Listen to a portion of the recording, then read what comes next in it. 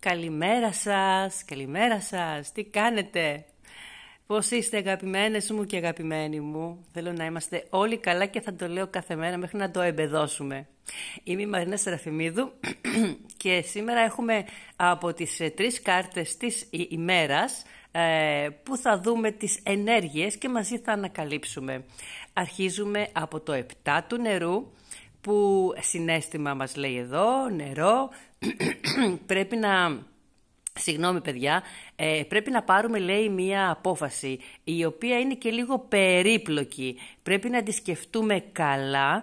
Αν θέλουμε μπορούμε να ε, συμβουλευτούμε και κάποιον δικό μας ε, πραγματικά άνθρωπο που τον έχουμε τσεκάρει και καρατσεκάρει γιατί και έξω κυκλοφορούν πάρα πολλοί ψεύτες και που δεν θέλουν το καλό μας, θέλουν ακριβώς το αντίθετο. Θα ήθελα λοιπόν εδώ να είμαστε πιο σοβαροί στην έρευνά μας, γιατί μας λέει εδώ ανάγκη για έρευνα.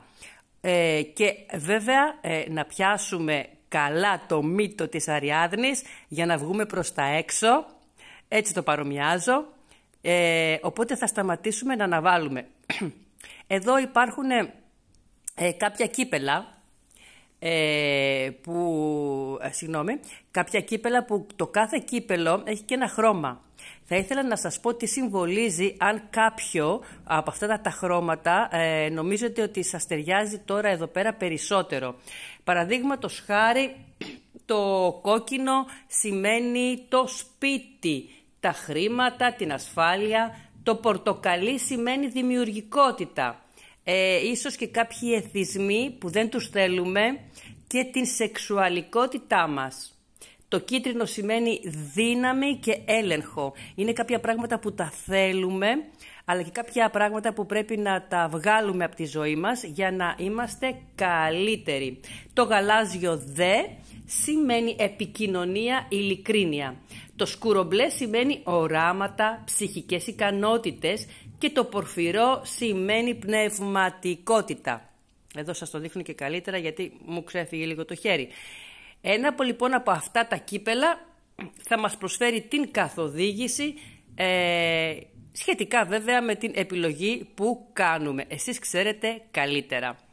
Πάμε να δούμε και την άλλη καρτούλα. Εδώ από τις ε, κάρτες των ταρότων στοιχείων, τις μυστικές κάρτες ταρότων στοιχείων μας βγήκε η γη, όρθια που μας, ε, που μας σημαίνει, τι άλλο να σημαίνει γη, σταθερότητα, συντήρηση πραγμάτων ε, που, έχουμε, ε, που έχουμε ήδη φτιάξει, που έχουμε ήδη πετύχει.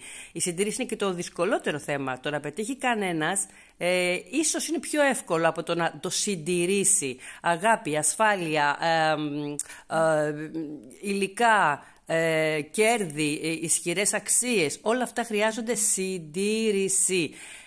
Ε, ναι, νομίζω ότι είναι μια πολύ ωραία προτροπή και συμβουλή. Πάμε να δούμε και την ε, κάρτα των σχέσεων. Η κάρτα των σχέσεων εδώ μας λέει ότι θέλω να σου πω πώς αισθάνομαι. Θέλω να σου πω πώς αισθάνομαι. Ε, σε θέλω κοντά μου ίσως. Σε θέλω δίπλα μου.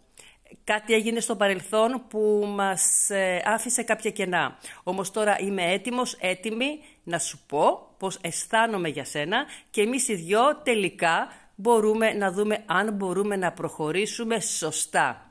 Είναι και, και, και, και οι κατάλληλες εποχές, παιδιά, να το ξέρετε, ε, που όλοι οι περισσότεροι ε, πλανήτες είναι ορθόδρομοι.